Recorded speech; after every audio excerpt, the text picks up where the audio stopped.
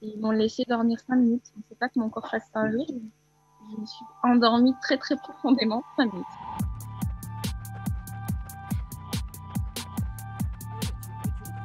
Il est juste très surprenant parce que quand on ne le connaît pas, on ne s'attend pas à un tel chantier.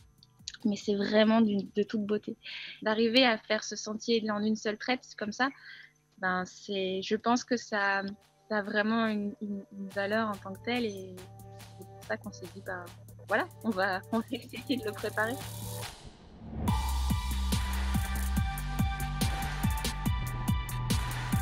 au début, c'était vraiment beaucoup de plaisir. J'ai vraiment beaucoup profité. Toute la partie nord, j'attendais un peu le coup de moins bien et finalement, il a tardé à venir. Donc, ça a été vraiment plein de, plein de, d'émotions, mais différentes. Mais j'ai pensé à plein de choses. Je sais pas, on a, on a beaucoup partagé avec les copains qui étaient avec moi. Ça a été de profiter aussi de, de la beauté de ce GR, tout ça.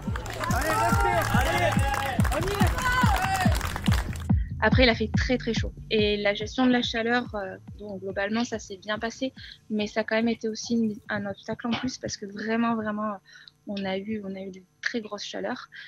Après, euh, la principale difficulté que j'ai rencontrée, ça a été la nuit. Il fallait que je dorme, j'étais effilée.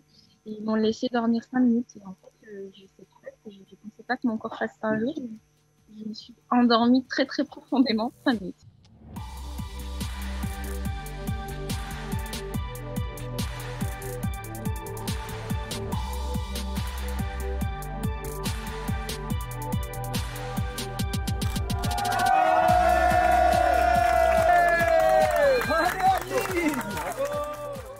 Ah là, il y a tout qui, y a tout qui lâche, quoi. Donc c'est une émotion immense. Je sais même pas. Clairement, j'ai pas du tout pensé à tout ce qui pouvait être le chrono, le record, tout ça. Et d'ailleurs, même encore, j'ai pas réfléchi à ça. Mais c'est tellement d'émotions et puis un épuisement aussi total d'être arrivé à, à, bout de ce que je pouvais être, être capable. Donc, euh, et puis clairement, il faut, il faut une préparation spécifique, venir en Corse et puis le faire, le refaire. Et le connaître par cœur, mais je crois que je le connaissais par cœur en fait. Vous êtes fière de vous? Je réalise pas trop, mais je crois que c'est quand même chouette.